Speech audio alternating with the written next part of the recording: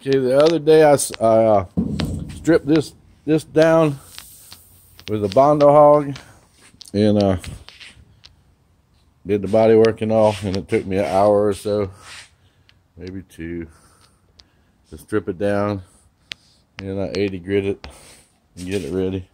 Then I had the bright idea to get some uh, stripper. I went and spent $52 on that. And I put it on here and it didn't do nothing. And I waited and I waited and it dried. You know, it says take it off with a uh, with a with a put with a plastic putty knife. Plastic putty knife won't touch it. Metal metal won't hardly touch it. This area, this area was a white spray can primer, and it took it took it off, took it right off. White spray, white spray can. Well, it kind of took it off. Anyway, uh,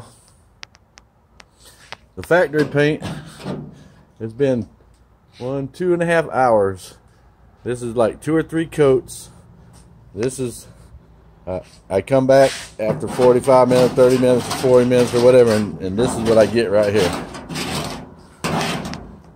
Can you see that? Yeah, that's what I got. Yeah, it stripped, it stripped it there a little bit. You can take a razor blade scraper and do better.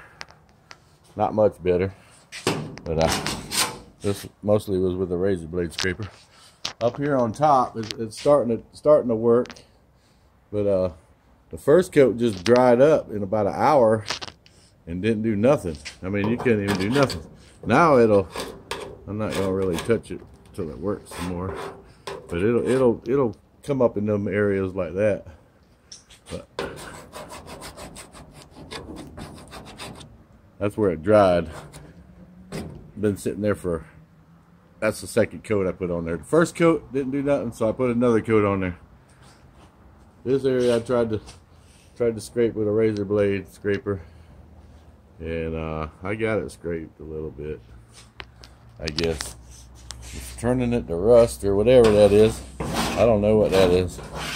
I guess it's not rust.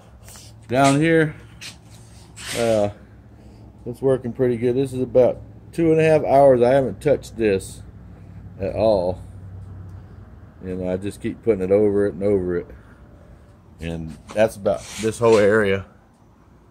And so far, that spot looks like it's stripped pretty good. I'm not going to touch that for right now. To see what it does. But uh, all this area has been there for two and a half, closer to three hours now. And uh, this is what I got. Yep. I could have spent an hour or two sanding it making a sandy mess or the alternative to what I got. Back in the old days, I've stripped hundreds of these.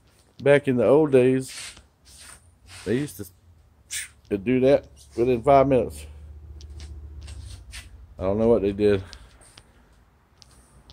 But uh, I think I'll uh, sandpaper everything from now on.